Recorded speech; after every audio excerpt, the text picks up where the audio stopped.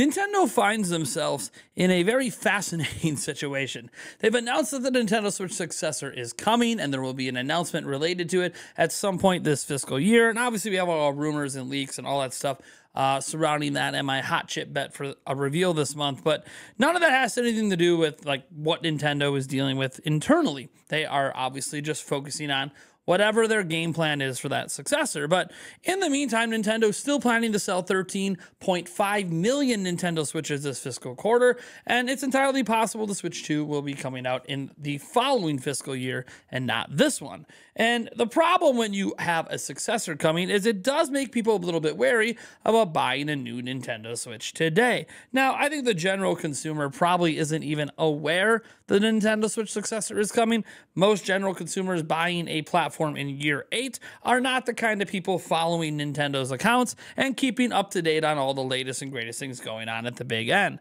Look, these are going to be your moms, your dads buying, you know, extra systems for you know kids and stuff like that. Like anyone who likes to have technology out and around launch date are the kind of people that already bought a Switch. In fact, they not only probably bought a Switch, they probably also bought a Switch OLED at least, and possibly even one other special edition Switch, whether it was a normal Switch or a special edition Switch Lite, like the upcoming Zelda one, or any of the numerous amount of, well, special edition Switch OLEDs they've done. So really, the Nintendo Switch successor news isn't for the people that would buy a system this holiday. In fact, that's the number one reason that people argue if they revealed a Nintendo Switch system, a Nintendo Switch 2 system right now, it probably wouldn't impact the holiday sales that much because, after all, most people thinking about buying a Switch at this point aren't the kind of people that are thinking about buying a Switch 2.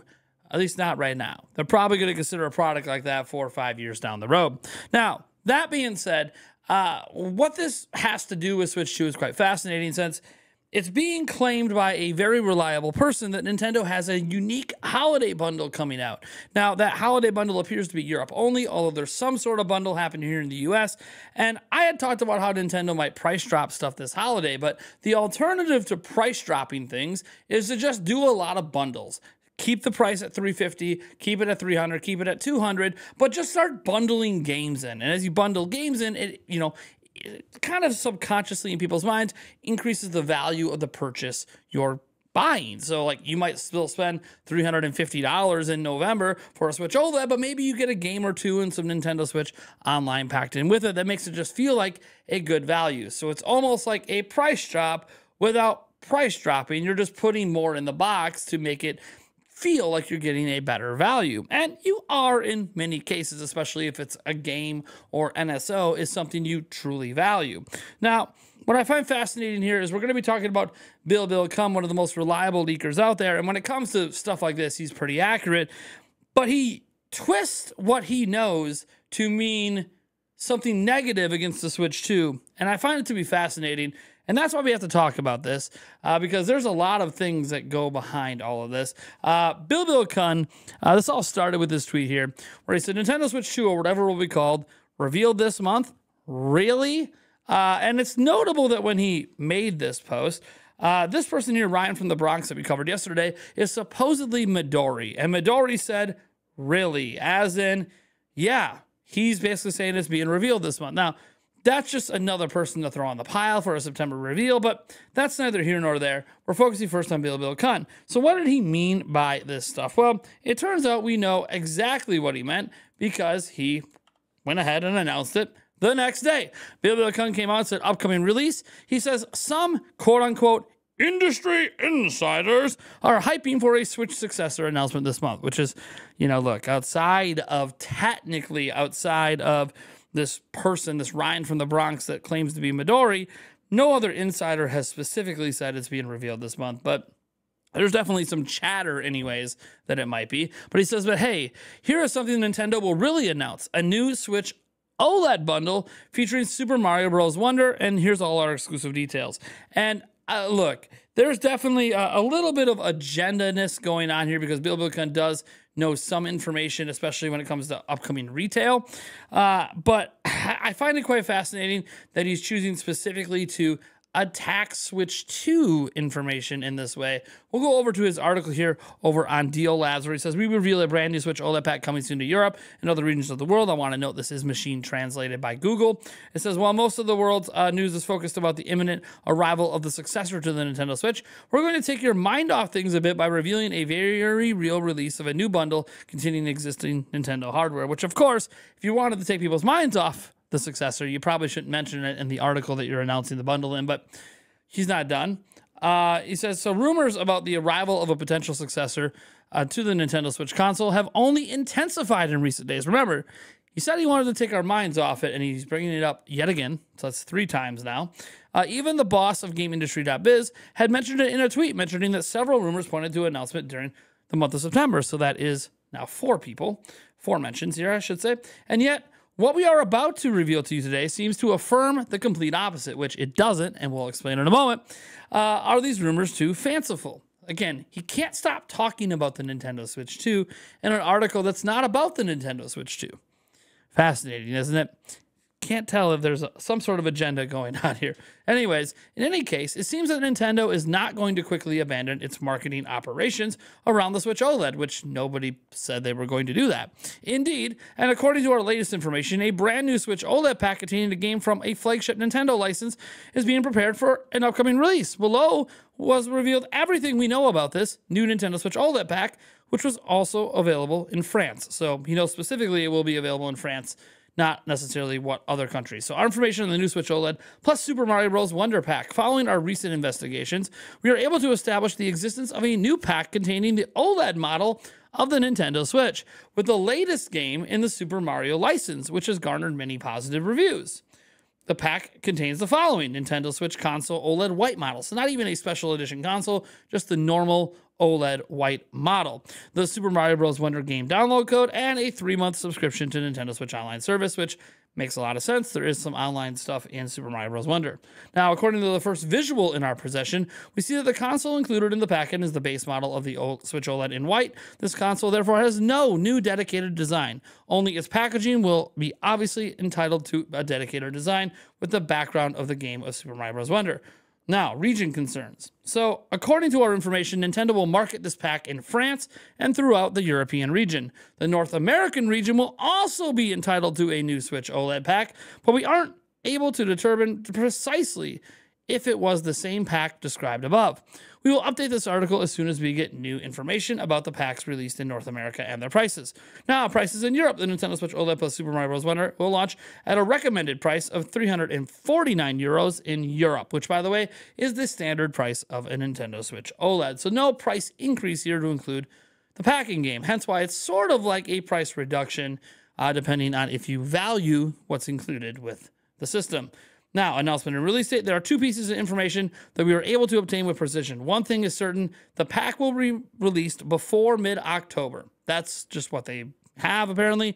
A few candidate release dates uh, we were able to report to was September 23rd and October 3rd. So he basically thinks one of those two days the pack might release or be announced or, you know, something. It's going to happen before the middle of October. Those are the two dates that are being thrown out there.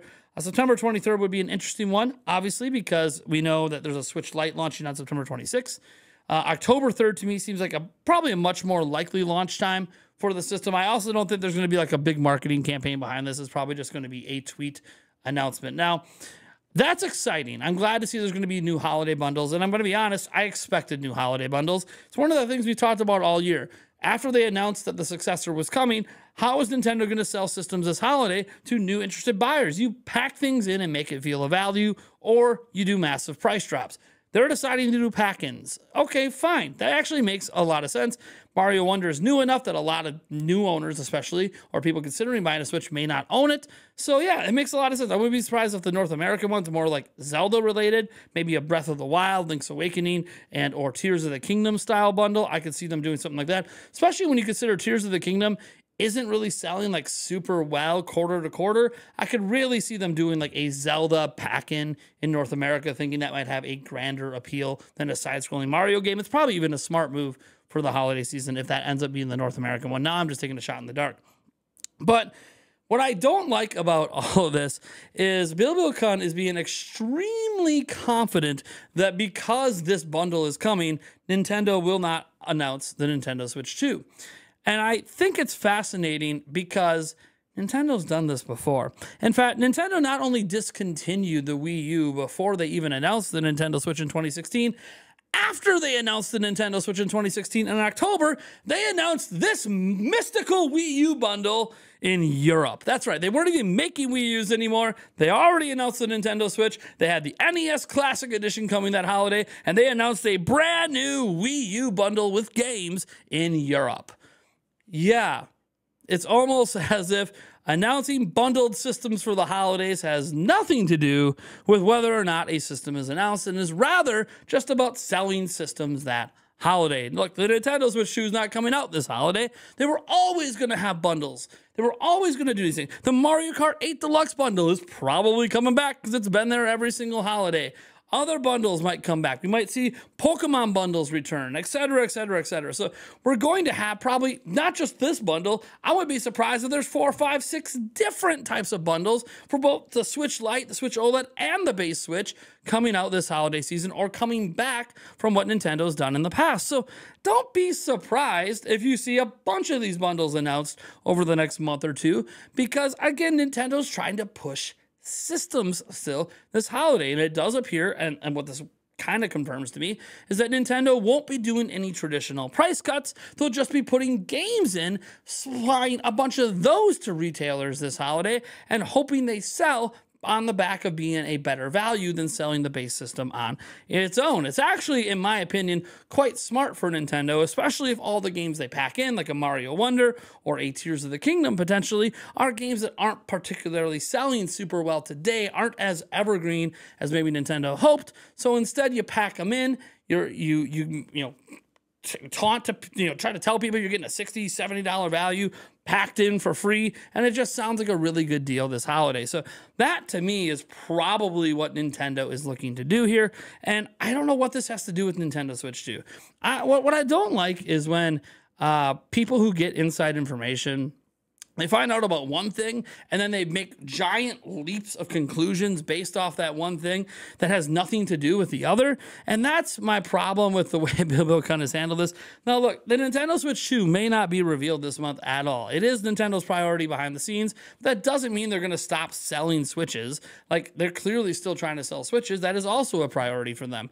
I do think, though, that it, it's just a little bullheaded, pig-headed maybe a bit to just assume because you know one little retail nugget about Nintendo that that means you know about Nintendo's plans to announce something that's not planned to be in retail till sometime next year knowing about Nintendo's announcement plans versus knowing about what Nintendo's going to put into a store coming soon are two entirely different things because you can get that store information from retailers, right? You can literally just have friends at retailers that handle inventory that know this system's coming because they got to sell it versus actually having access to developers and knowing what the hell is happening with game announcements and all that stuff. So uh, it's also notable that billbil-kun, while he's a very reliable insider, Almost all of his information is about Sony. He only has like a few sparing retail things with Nintendo. And yeah, he's very accurate. And I actually don't doubt his report. A Wonder Bundle in Europe is probably happening. It might even be a Wonder Bundle here in the United States, although I think Tears of the Kingdom makes for a better choice. But either way, I think Nintendo is perfectly positioned at the moment to just do a bunch of these bundles. I don't know what this has to do with anything. Uh, Nintendo, it, eh, people are under this assumption that if Nintendo announces a system, they're just done supporting the current one, uh, and Nintendo is not going to be able to sell more of them. Uh, we had new 3DS bundles after the Switch was announced. We had new Wii U bundles after the Switch was announced. Uh, we had new bundles with the DS after the 3DS was announced. We've had obviously brand new games, like big exclusive games, come to prior platforms while a new platform is out. Hello, Black and White 2 coming to DS. Well, the 3DS is actually the hot stuff probably going to happen with Pokemon Legends ZA again next year, where there might not be a specific Switch 2 version of that game next year. So I just kind of look at this whole situation as I don't think one really has anything to do with the other. In fact, you could almost argue if you want, and this is obviously a slanted take, that Nintendo announcing bundles of newer games that they are not discounted uh, for this holiday season might be an indicator that they feel like they need to increase the value proposition this holiday because of something else happening at the company. Because why would you include Mario Wonder or Tears of the Kingdom or any recent release from Nintendo in a bundle this holiday when Nintendo's still selling millions of these every quarter? Could it be that a pending announcement is coming? And that announcement, in lieu of Nintendo worrying that it could negatively impact hardware sales, because guys, all they got to do is confirm backwards compatibility, and it won't, it won't, it won't even partially stop software sales. But if Nintendo wants to continue to push hardware sales, then yeah, all they got to do is increase the value proposition. Pretty easy to do that by packing a $60 game in with the system, packing a $70 game in with the system. You actually increase the value proposition, which will keep things selling. It's almost like Nintendo has a plan and like they've done this before. So, while I don't know, obviously, if anything's being announced this month, I do think Nintendo is doing some interesting moves, and we're just going to have to pay really close attention. Also, uh, it's kind of funny, uh, Ryan from the Bronx that, you know, claims to be Midori and seems to have a little bit of evidence to suggest that, that he is. Uh, what I find fascinating is, look, his reputation's just on the line, like right now. He actually released a couple leaked footage for like Jet Set Radio or maybe it was Crazy Taxi and Shinobi or something like that. And that footage checks out, and I guess some other insiders have had this footage uh, behind the scenes since 2022. So I don't know, but uh, so those are some legit leaks, anyways, that uh, Ryan from the Bronx has put out there now. But what I do find fascinating is, yeah, he basically responded to billbil-kun that, yeah, really, like really, Nintendo is going to be revealing the Switch 2 this month really. So uh, that's just another piece of news out there. We'll have to see if it checks out. Uh, he's putting his reputation online because I'm going to say right now, uh, look, Nate the Hate didn't say it's being revealed this month. Technically, PH Brazil never said it was being revealed this month. Christopher Dring and Andy Robinson just said they've heard some whispers and some stuff about something Switch 2 this month, but neither one of them have heard like directly from their own sources. Hence why they didn't like, you know, put out an article. So they're not even committed. So there isn't really any insider at the moment except this Ryan from the Bronx guy that is fully committed to it being revealed this month. So, and then you have me. I'm not an insider. I don't have like any developers or anyone telling me anything about when Switch 2 is coming. Uh, but I do have a hot chip challenge on it. And if it doesn't get revealed this month, you guys get to watch my torture on, live, on a live stream in October. So take that for what you will. All right, we're going to wrap things up there. I am Nathaniel Rovajance from Nintendo Freaking Prime and I'll catch you guys in the next video.